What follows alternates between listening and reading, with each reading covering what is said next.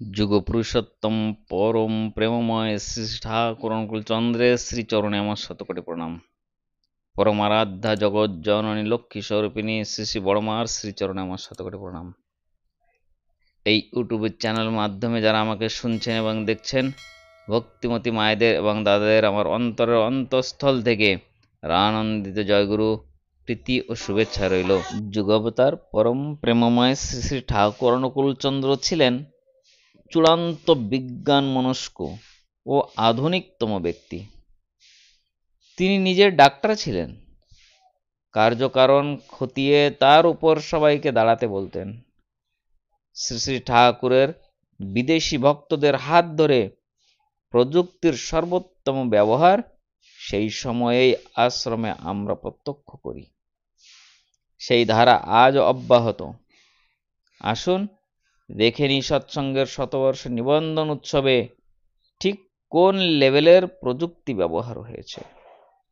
প্রথমে ওয়াকিটাকি ভলেন্টিয়ারদের নিজেদের মধ্যে যোগাযোগ রাখার জন্য এবং পরিস্থিতি মোকাবিলার জন্য ওয়াকিটাকির বহুল ব্যবহার দেখি এবার উৎসবে। শতবর্ষ নিবন্ধন উৎসবে প্রত্যেকটা ভলেন্টিয়ারের হাতে ছিল ওয়াকিটাকি, যেন তারা একে অপরকে যোগাযোগ করতে পারে তার জন্য। দ্বিতীয়টা, পরিবেশের উষ্ণতা নিয়ন্ত্রণ রেখে শীতল করার জন্য ঠাকুর বাংলার ভেতর জলের গুঁড়োর ব্যবহার, যা আমরা গ্যাস ফর্মে দেখেছি এবার শতবর্ষ নিবন্ধন উৎসবে। এক অপূর্ব জিনিস, তৃতীয়ত, অত্যাধুনিক স্টেজ কোনো ধর্মীয় প্রতিষ্ঠানে এরকম স্টেজ স্বপ্নের অতীত। ঠিক কোন পর্যায়ের প্রযুক্তি সম্মিলিত স্টেজ তৈরি করা হয়েছে? তা একটা বেঞ্চমার্ক হয়ে বহুদিন ধরে আলোচনা চলবে। তারপর ড্রোনের ব্যবহার করা হয়েছে। ড্রোন দিয়ে ছবি তোলা, ভিডিও করা বা পর্যবেক্ষণ করা এতদিন সৎসঙ্গে দেখেছি। এবার দেখলাম ড্রোন দিয়ে অ্যানিমেশন তৈরি করা। অপূর্ব, অভাবনীয় বিজ্ঞানের প্রয়োগ। শয়ে শয়ে ড্রোনকে একসাথে কন্ট্রোল করা। তারপর তা দিয়ে ছবি তৈরি করা নিখুঁতভাবে। এর পেছনে বিজ্ঞানের যে বিপুল প্রয়োগ আছে, তা বলাই বাহুল্য। তারপর অত্যাধুনিক ইনস্ট্রুমেন্টের ব্যবহার। যুগের সাথে পুরনোকে বিসর্জন না দিয়ে তাকে নবীকরণ করে যেমন ঢাক এবং তার সাথে আধুনিকতম ইনস্ট্রুমেন্ট দিয়ে গান করা। সৎসঙ্গ বিজ্ঞান মনস্ক আধুনিক, কিন্তু আধুনিকতার নামে মানুষের বৈশিষ্ট্য ভিত্তিক বর্ণাশ্রমকে সে কখনো ভাঙবে না। আধুনিকতার নামে বিবাহকে খেলনায় পর্যবসিত করবে না। আধুনিকতার নামে সদাচার বিসর্জন দিয়ে এক পাতে এর ওর মুখেরটা খাবে না।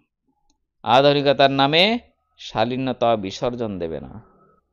আধুনিকতার নামে ঋষির প্রজ্ঞাকে অবহেলা করবে না। আর এই হলো সৎসঙ্গ। পরম প্রেমময় ঠাকুর অনুকূল চন্দ্র তাই গড়ে তুলেছেন সৎসঙ্গ মানুষ তৈরি করার কারখানা ম্যান মেকিং ইন্ডাস্ট্রিজ ঠাকুর তৈরি করে গেছেন। ঠাকুরের লীলাভূমি, রাঙামাটি দেওঘরে প্রতিদিন হাজারো হাজারো ভক্তবৃন্দ এসে সেখানে আচার্য দর্শন ও প্রণাম করছেন। পরম প্রেমময় ঠাকুর চন্দ্রের সেই লীলাকে তারা প্রত্যক্ষ অনুভব করছেন এবং সার্থকতা, জীবন তারা ধন্য করছেন, মানব জীবন তারা ধন্য করছেন। নয় থেকে দশ লক্ষ ভক্তের সমাগম সেখানে হয়েছিল সৎসঙ্গের শতবার্ষিকী নিবন্ধন উৎসবে। সেখানে কোনো পুলিশ প্রশাসন দেখা যায়নি। এমনতর অনুভূতি আর কোথাও ধর্মীয় অনুষ্ঠানে আপনারা দেখতে পাবেন না, যা শুধু সৎসঙ্গে দেখা যায়। এর নামই সৎসঙ্গ। যেখানে কোনো উচ্ছৃঙ্খল ভাব নেই, কোনো ঝগড়াঝাটি নাই, কোনো মাছ, মাংস, পেঁয়াজ, রসুন খাবার জন্য কেউ দেওঘরের দেওঘরের মাটি ছেড়ে কোথাও হোটেলে বা এখানে সেখানে গিয়ে খেয়ে আসছেন না।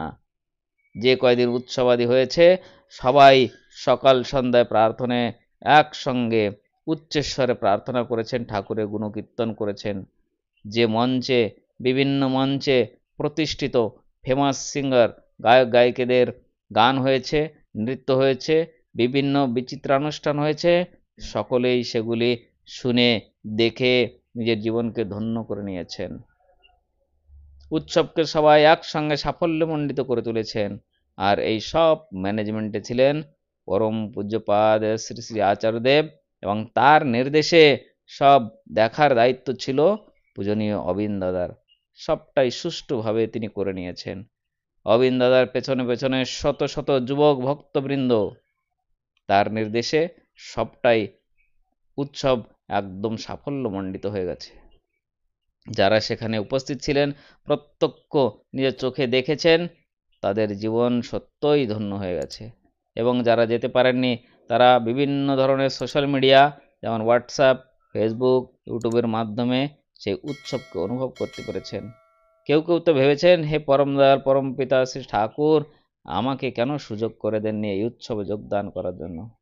আমরা আজ ঘরে বসেই সেই উৎসবকে অনুভূত করে পাচ্ছি। এই উৎসবকে আমরা অনুভব করতে পারছি, দেখতে পাচ্ছি। তাই দেখেই আমাদের জীবন সফল। শ্রী শ্রী ঠাকুর দিয়েছেন পঞ্চনীতি, আর এই পঞ্চনীতি যারা কাটায় কাটায় পালন করে, কর্মের মধ্যে ফুটে তোলে, তাদের জীবনে আর কখনো অশান্তি আসে না। তাদের জীবন শান্তিময় হয়ে ফিরে যায় তারা উপভোগ করতে পারে শান্তি এবং স্বস্তিকে। আপনাদের সকলের সুস্থতা এবং ভালো থাকার প্রার্থনা পরম প্রেমা ঠাকুর চন্দ্রের শ্রীচরণে করে আজকের ইষ্ট প্রসঙ্গ এখানেই সমাপ্ত করছি। আবার দেখা হবে আর একটা সুন্দর ভিডিওর মাধ্যমে বিষয় নিয়ে আপনাদের সামনে চলে আসব। যারা এখনই এই সাবস্ক্রাইব করেননি চ্যানেলটি, তাদের কাছে অনুরোধ করছি এই চ্যানেলটি সাবস্ক্রাইব করুন। এই চ্যানেলের মাধ্যমে পরম প্রেমা ঠাকুর চন্দ্রের ইষ্ট প্রসঙ্গ আপনাদের সামনে তুলে ধরি এবং অন্যকে শেয়ার করুন। তারাও পরম প্রেম ঠাকুর অনুকূলচন্দ্রের জীবনী ইষ্ট প্রসঙ্গ শুনে তারাও নিজেকে ধন্য করতে পারবেন। লেখটি লিখেছেন সীমা ভট্টাচার্যিমা তাহলে আপনাদের সকলকে জানাই অন্তর থেকে প্রাণন্ত জয়গুরু বন্দে পুরুষোত্তম।